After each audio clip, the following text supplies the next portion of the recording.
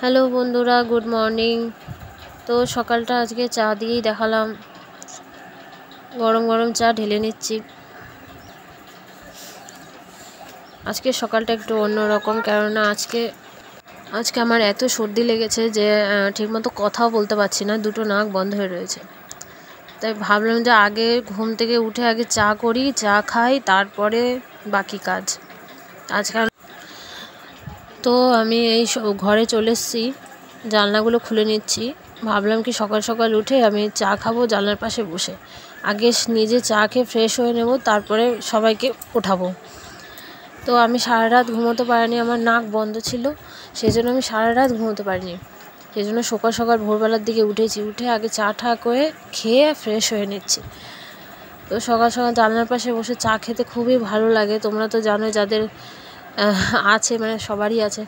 তা আমার তো খুব ভালো লাগে। আজ যেহেতু সর্দি লেগেছে, সেই জন্যই বসা নালে টাইম পাই না। চাটা খাওয়া হয়ে গেছে, নিচে এসে ছেলেকে তুলে ওকে আগে খাইয়ে নিচ্ছি। ওর খাওয়া দাওয়ার পরে আমি খেয়ে নিচ্ছি। ওর খাওয়া হয়ে গেছে, এবার আমি বসে খেয়ে নেব।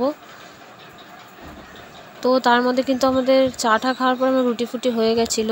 তা আমি সেগুলো আর দেখালাম না।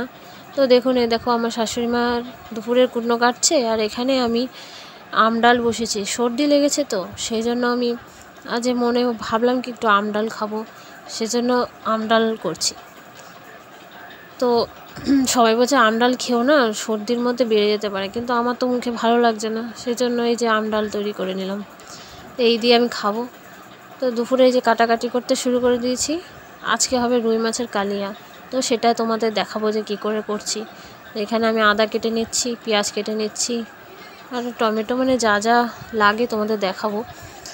তো সেগুলো দেখো আমি করে নিচ্ছি, সবই গুছিয়ে গেছেই নিয়েছি। তো এখানে দেখো আমার মাছগুলো আমি এখানে নুন, হলুদ মাখিয়ে নিয়ে এবার ভাজবো। তো ভালো করে নুন, হলুদ মাখিয়ে নিয়েছি। এ দেখো মশলা, আদা আদা কুচি, পেঁয়াজ কুচি আর এখানে আমি না রসুন দিচ্ছি, ঠিক আছে? আর দিচ্ছি টমেটো। আর এই যে বাদবাকি পেঁয়াজগুলো রয়েছে, এগুলো আমি তেলে দেবো। এই যে পেস্ট করা হয়ে গেছে, আরেকটা বাটিতে আমি লঙ্কা আর জিরে ভিজিয়ে রাখছি। এবার ওটাকেও আমি পেস্ট করে নেব। এই যে পেস্ট হয়ে গেছে, এবার রান্নাটা চাপে তেল দিয়ে দিলাম। এবার মাছটাকে ভালো করে ভেজে নেব। মাছটাকে ভালো করে ভেজে দেখতে পাচ্ছ বন্ধুরা, আজকে কিন্তু খুবই গরম। ঘাম ছুটে যাচ্ছে মানে রান্নাঘরে দাঁড়ানো যাচ্ছে না, এত গরম লাগছে। তো এখানে আমি মাছ ভাজছি। মাছ ভাজাগুলো হয়ে গেছে, এগুলো তুলে নিচ্ছি।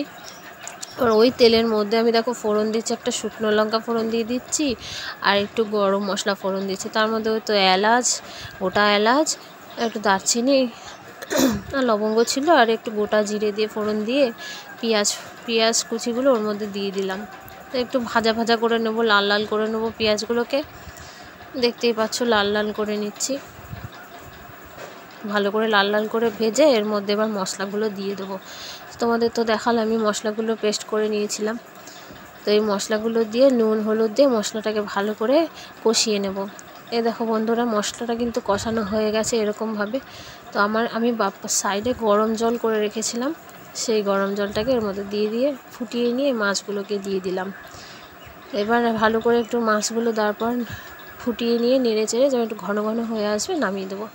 তো এই ছিল আমার মাছের ঝাল, আর কিছুই না। ঝাল বলো, কালিয়া বলো, দুটোই হয়ে গেল। তো এইভাবে রান্না করলে কিন্তু মাছগুলো খেতে খুবই ভালো লাগে।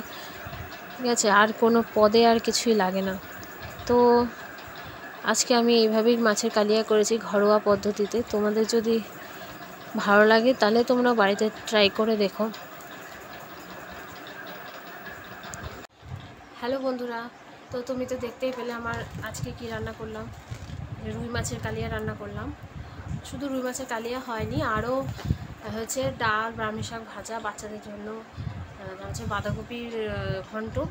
তো এত কিছু হয়েছে এখনও সেগুলো আর দেখাতে পারলাম না। শুধু মেন যে আইটেমটা সেটাই দেখালাম, কীভাবে করলাম। তোমাদের যদি ভালো লেগে থাকে প্লিজ জানিও। আর এখন আমি ছেলেকে খাওয়াতে বসছি। তো ওকে খাইয়ে ঠাইয়ে নিই তারপরে আবার কথা বলব তোমাদের সাথে। তো এবার আমি ছেলেকে ছান ঠান করিয়ে নিয়েছিলাম। এবার ভাতটা খাইয়ে দিচ্ছি, ওকে খাইয়ে ঠাইয়ে তারপরে আর বাদ বাকি কাজগুলো করব। জানি না ওখানে আমি কি বলছিলাম। তো এই যে ছেলেকে খাওয়ানো গেছে, ছেলে টিভি দেখছে আর আমি এখানে ঘরটাকে মুছে নিচ্ছি। ঘরটা মুছে বাসন টাসন মেজে এবার আমি যাব স্নান করতে। ছেলে খালি দেখো ক্যামেরার দেখলেই হয়েছে। ক্যামেরার সামনেই বসে থাকবে খেলনা নিয়ে। তো এই খেলছে ক্যামেরার সামনে, একটু ভংচি দিচ্ছে, এদিক ওদিক করছে। নিজের মুখটা দেখতে পাচ্ছে তো? তো এই তো আমার স্নান হয়ে গেছে, আমি ছাদে গিয়ে আমার জামা কাপড়গুলো মেলে আসলাম। এবার জামা কাপড়গুলো মেলে এবার ঠাকুর ঘর দেখাবো আমাদের ঠাকুর ঘরটা কীরকম। নিচে যাই, সিঁদুর টিঁদুর পড়ি তারপরে তোমাদের আমাদের ঠাকুর ঘরটা দেখাবো। তো দেখো বন্ধুরা, আমি ঠাকুর ঘরে চলে এসেছি ঠাকুর প্রণাম দেওয়ার জন্য। তো এখানে আমার দিদিভাই ঠাকুর পুজো করছে। আজকে দিদিভাই পুজো করছে। সবাই করি আমরা। এখানে প্রণাম করে দেখো আমাদের তো এখানে দিদিভাই পুজো দিয়ে দিচ্ছে। দেখো আমাদের ঠাকুর ঘরটা। আমরা এরমভাবে ঠাকুর ঘর কিন্তু গুছিয়ে রাখি। তো সবাই পুজো দেয়, শুধু একজন না, সবাই বাড়ি বাড়ি করে পুজো দেয়। তো এই দেখো এখানে আমার গোপাল সোনা বসে আছে। সুন্দর করে। এখানে বড় একটা রাধাকৃষ্ণের ফটো। তো আমি ঠাকুর ঘরে প্রণাম ঠনাম করে ঘরের দিকে যাচ্ছি। তারপরে গিয়ে তোমাদের সাথে কথা বলছি।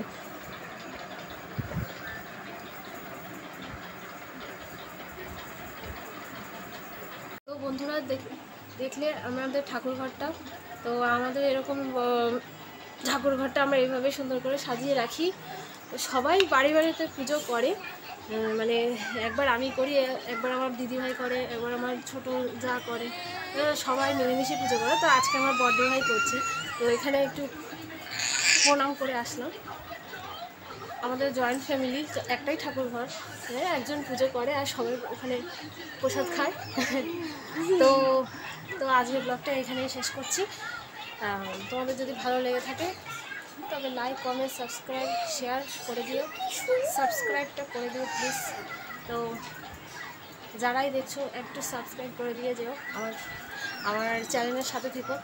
তো ওকে ওকে বাই তো আজকের মতো এই অবধিই থাক।